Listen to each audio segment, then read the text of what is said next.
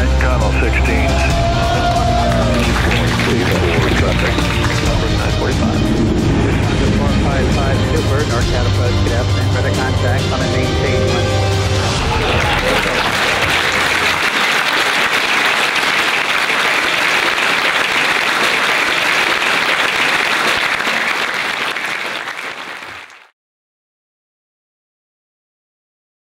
Meine Berufsentscheidung war schon relativ früh klar, weil ich im zarten Alter von fünf Jahren von meinem Vater auf einem Rundflug mitgenommen wurde in einer Do 27.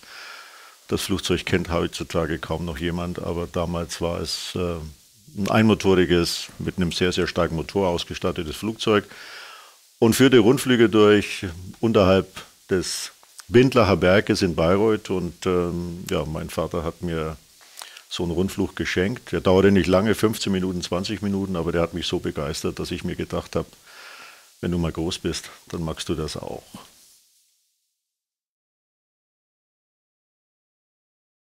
Mein erster Flug als Passagier in einem Linienflugzeug war dann äh, kurz vorm Abitur.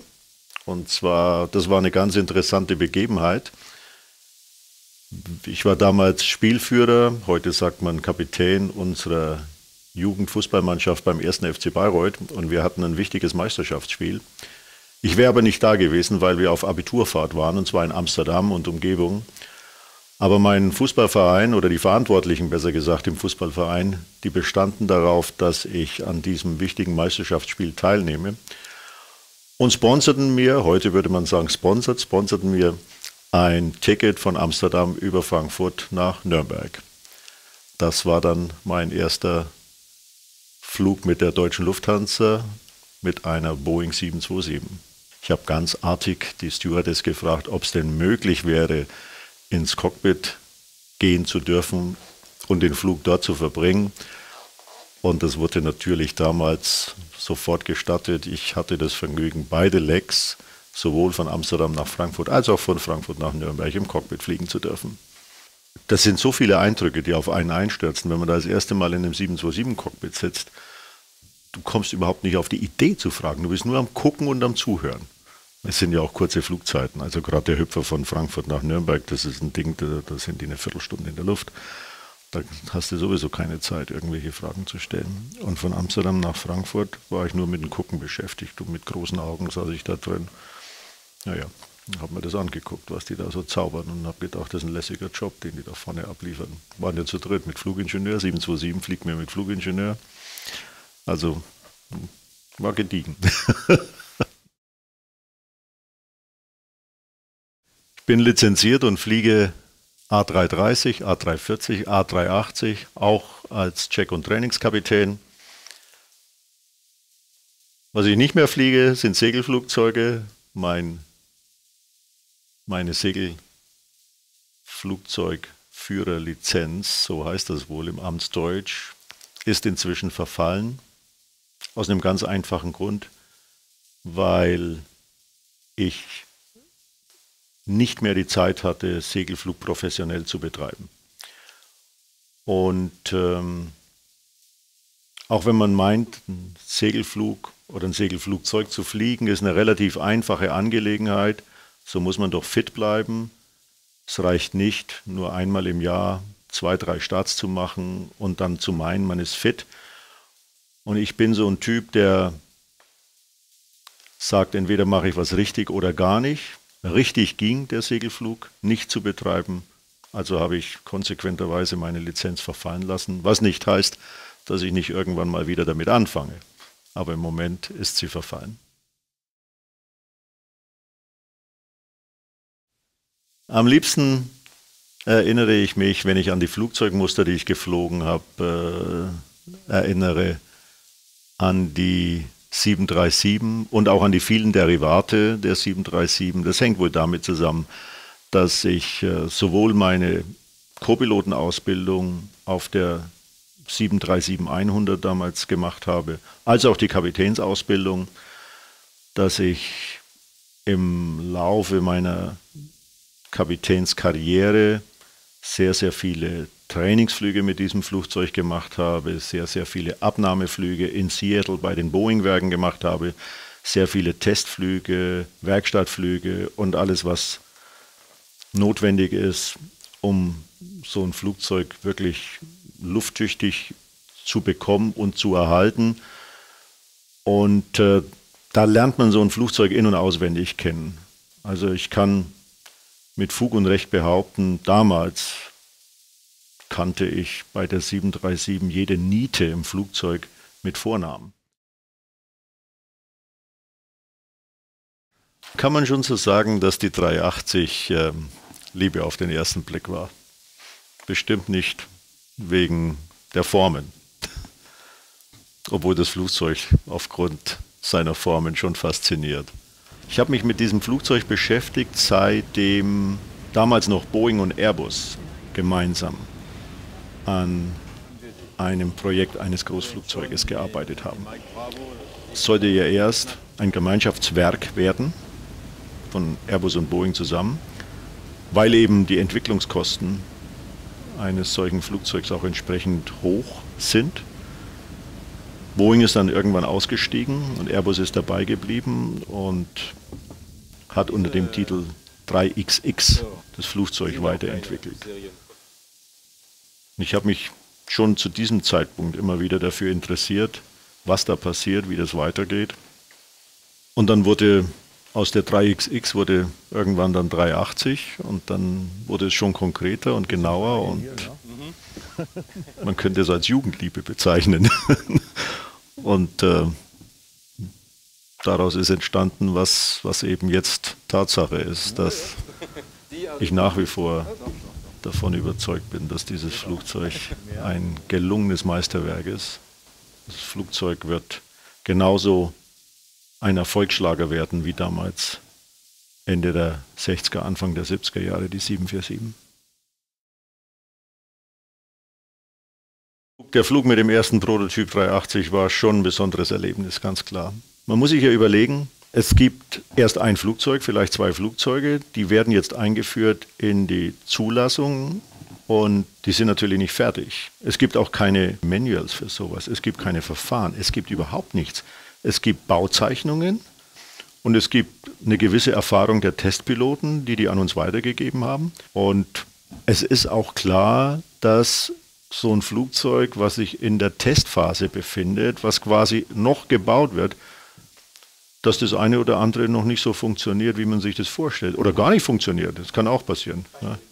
Das Flugzeug hat natürlich auch noch keine Zulassung. Es ist, es ist im Rohbau. Es sind hinten keine Sitze drin. Man sieht die ganzen Drähte an den Wänden hängen, die ganzen kilometerlangen Drahtbündeln. Das Flugzeug hat hinten Fässer drin, in denen Wasserballast mitgenommen wird, um das Flugzeug schwerer oder leichter zu machen oder den Schwerpunkt des Flugzeuges hin und her zu pumpen, beziehungsweise nicht hin und her zu pumpen, sondern den Schwerpunkt des Flugzeuges zu verändern, indem man hin und her pumpt. So ist es richtig.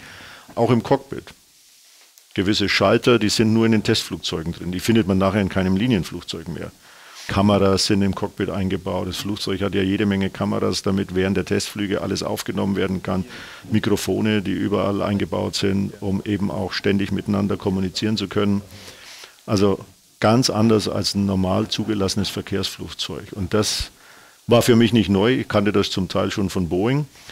Aber natürlich in dieser Größenordnung wie die 380 war es schon sehr, sehr beeindruckend trotzdem Liebe auf den ersten Blick, weil sich das bewahrheitet, was man erwartet hat. Man hat ja eine gewisse Erwartungshaltung und diese Erwartungshaltung wird total erfüllt.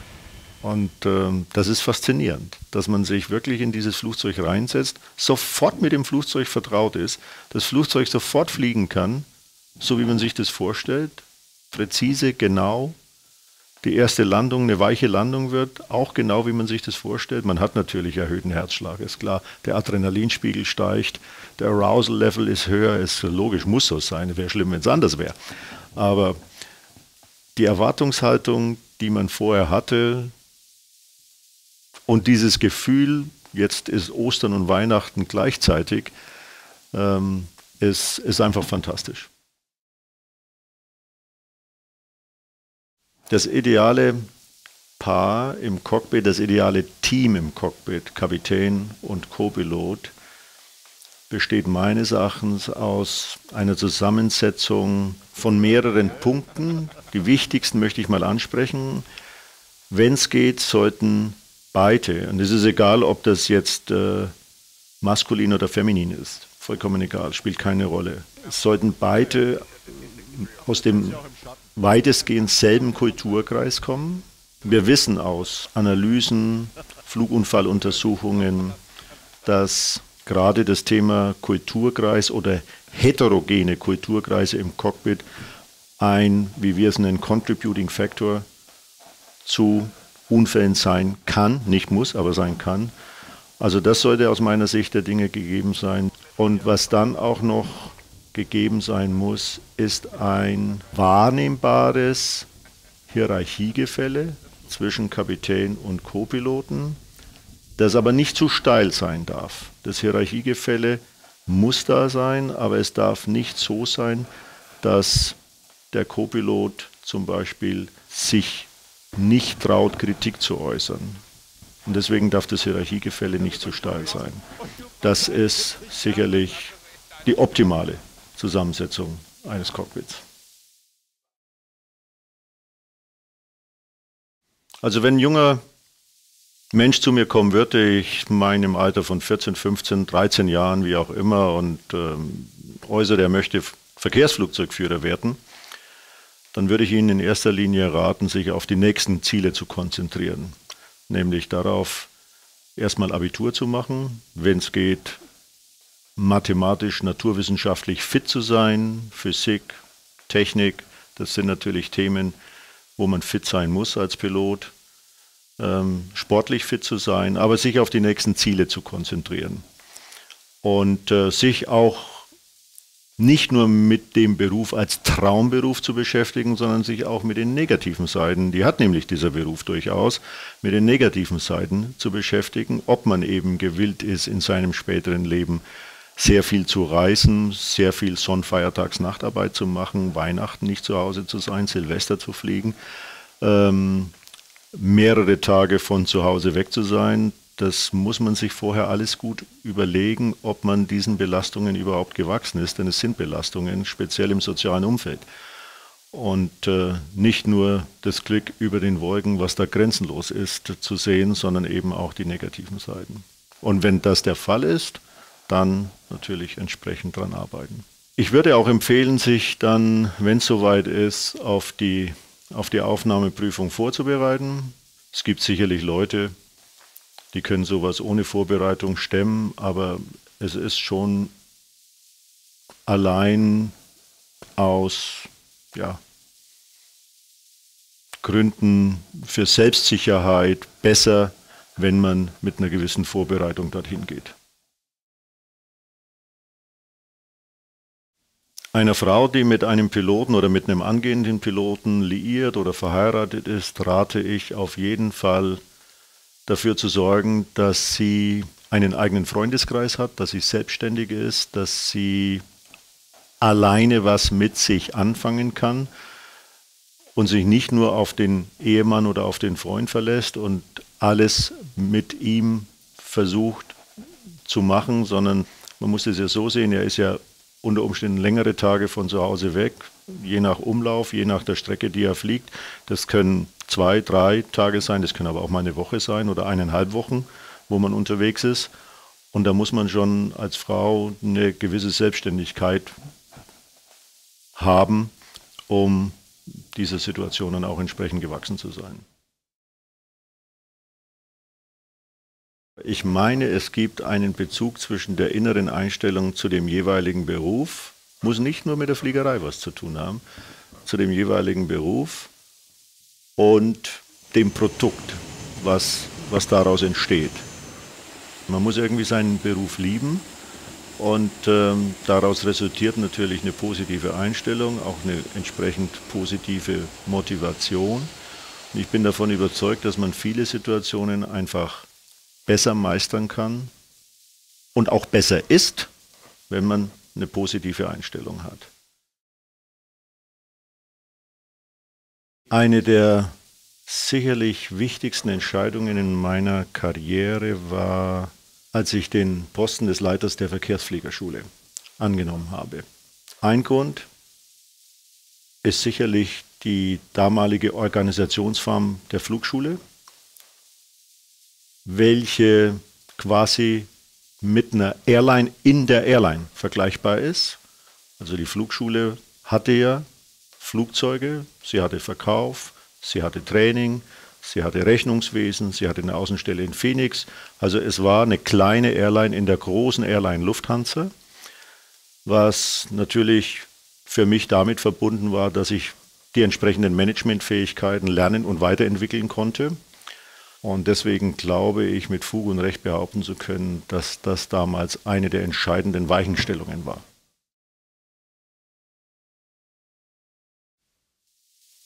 Der schönste Moment in meinem Fliegerleben ist, denke ich, sicherlich der Augenblick, wo ich Kapitän wurde, wo ich vom Ausbilder damals nach der Landung in München übrigens, die Schulterklappen mit vier Streifen bekommen habe und die Goldkortel für die Mütze. Es ist, glaube ich, der sowieso der wichtigste Augenblick in der Karriere eines Piloten, vom Co-Piloten zum Kapitän zu avancieren. Bei mir war das der 12. Juli 1984, zwei Stunden vor dem großen Hagelunwetter in München welches hier massenweise Autos demoliert, Fensterscheiben demoliert und sonstigen Schaden angerichtet hat. Aber da war ich schon fertig. also brenzlige Situation hatte ich keine. Muss ich wirklich, das waren alles Situationen, die, Du hast natürlich verschiedene Situationen. Du fliegst mal ein Go-Around wegen schlechtem Wetter, du hast einen Blitzschlag, ich habe ein Triebwerk abgestellt auf der 37 oder zwei sogar. Ich habe Triebwerk abgestellt auf der A340. Ich habe ähm, ziemlichen Electrical Loss gehabt auf der 737. Es sind aber keine brenzlichen Situationen im, im Sinne von, jetzt wird es eng, jetzt wird es knapp und brauchst einen Schutzengel oder was auch immer, sondern es sind alles Situationen, die hast du im Griff. Es funktioniert nach Checkliste oder mit ein bisschen gesundem Menschenverstand, selbst damals auf der, auf der DC-10, als wir in Südamerika um die Gewitter rumgeflogen sind, für einen normalen Passagier ist sowas natürlich, der sowas nicht gewohnt ist, dass links, rechts die Wolkendürme stehen, dass man die nicht überfliegen kann und da muss halt durchfliegen und dann scheppert es und dann klappert es und dann wackelt es und dann schlägt der Blitz ein oder zweimal sogar und dann, ich weiß noch, fliegst einen Anflug in Asunción in Paraguay und das ist kein Instrument, das ist zwar ein Instrumentenanflug, aber nicht nach einem Präzisionsanflugverfahren, sondern eine Stufe schlechter oder zwei Stufen schlechter und steht halt dann kurz vorm, vor der Runway steht ein, ein riesen Gewitterschauer und kommst aus dem Dreck da raus und siehst die Bäume vor dir. Ja, musst halt einen Go-Round fliegen und so wurden aber damals diese Nicht-Präzisionsanflüge geflogen. Dann ist man eben runtergeflogen auf die Mindestsicherheitshöhe und dann kam man da raus und war vor uns Dschungel. okay, fährst halt einen Go-Round. Und äh, das, das sind aber keine brenzlichen Situationen in dem Sinn. Deswegen, ich habe keine. Ich habe echt keine. Ich bin 41 Jahre geflogen, ich hatte keine einzige brenzlige Situation. Ich hatte natürlich Abnormalitäten, ich hatte auch keine Notsituation. Abnormale Situationen, ja. Wenn man bei einer 340 ein Triebwerk abstellt, dann ist es keine Notsituation, sondern ja, eine abnormale Situation. Und das bekommt der Passagier gar nicht mit, dass da ein Triebwerk abgestellt wird und man fliegt so weiter, wie man vorher geflogen ist, mit einem Triebwerk weniger. Auch bei der 737. Da haben es die Passagiere nur daran gemerkt, dass man umgekehrt, dass wir umgekehrt sind und wieder zurück nach Frankfurt geflogen sind, als wir das Triebwerk abgestellt hatten. Was ich wahrscheinlich nach meinem letzten Flug am meisten vermissen werde, und das wird jetzt für viele überraschend sein, das glaube ich, wird nicht mal die Fliegerei als solche sein, sondern die Möglichkeit zu managen, Einfluss zu nehmen auf das Produkt, darauf Einfluss zu nehmen, dass man eine gute Kabinenbesatzung hat, dass man ein gutes Team an Bord hat, dass man den Flug pünktlich abwickelt, dass die Passagiere zufrieden, zufrieden sind, dass ja, die ganze, das ganze Surrounding, die ganze Umgebung ähm, eben ein sehr, sehr qualitativ hochwertiges Produkt darstellt für den Passagier, für den Gast.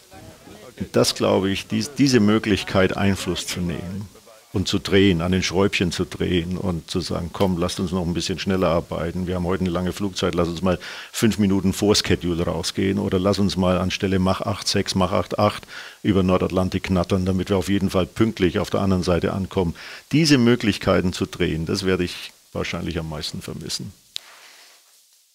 Und da muss ich mich wahrscheinlich auch am meisten zurückhalten, wenn ich als Passagier durch die Gegend fliege, dass ich wenn ich sowas sehe, wo das nicht so läuft und wo es meiner Meinung nach besser laufen könnte, dass ich dann schlicht und ergreifend den Mund halte und äh, mich in das Schicksal ergebe.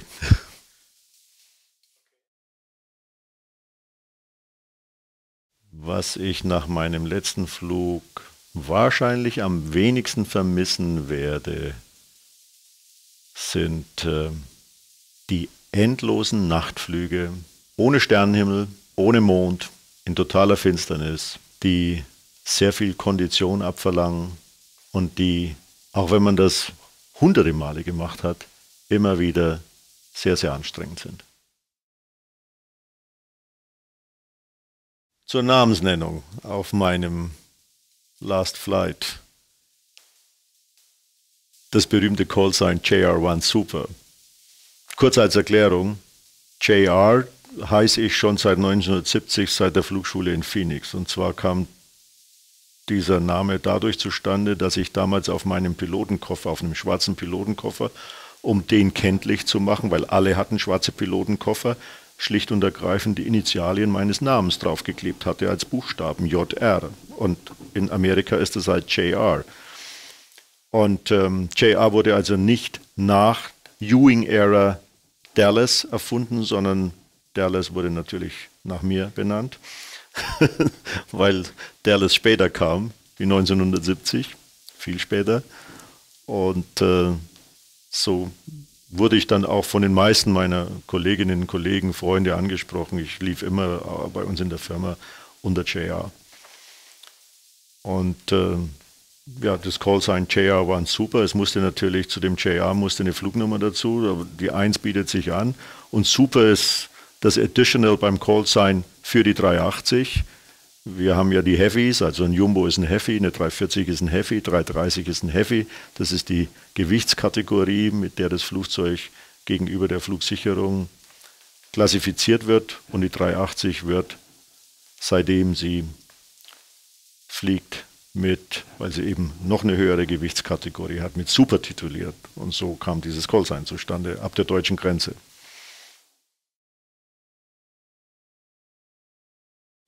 Die Fliegerei wird mich natürlich nicht ganz loslassen. Ich werde auch in Zukunft noch ein bisschen fliegen gehen, aber nicht nur mit starren Tragflächen, sondern mit Rotorblättern. Ich habe mir in den Kopf gesetzt, dass ich nächstes Jahr das Hubschrauberfliegen lerne.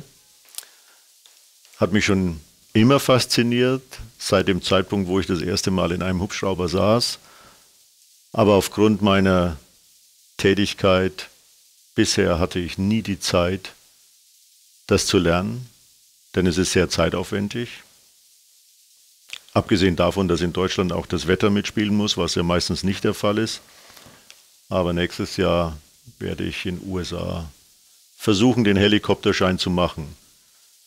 Bin mir nicht sicher, ob ich mich gut genug dafür anstelle, denn es ist schon ein Unterschied, ob man Starrflügler fliegt oder eben ein Hubschrauber fliegt. Fliegt sich auch ganz anders, ist eine ganz andere Technik. Vielleicht begreife ich das gar nicht. Aber probieren werde ich es auf jeden Fall.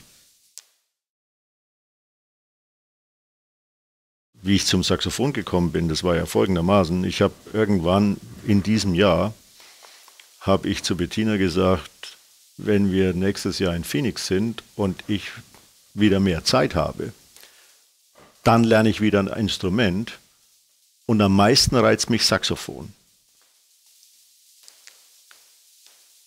Und daraufhin hat die mir jetzt ein Saxophon geschenkt zum Geburtstag. ne? Schönes Altsaxophon.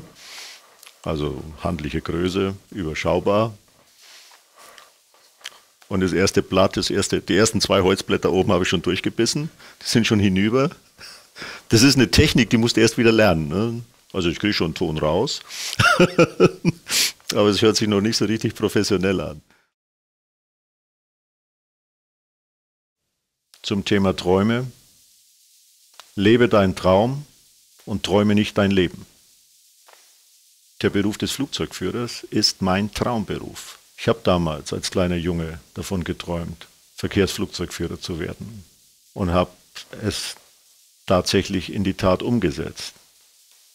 Also aus der Sicht gesehen sind Träume schon notwendig und befruchtend.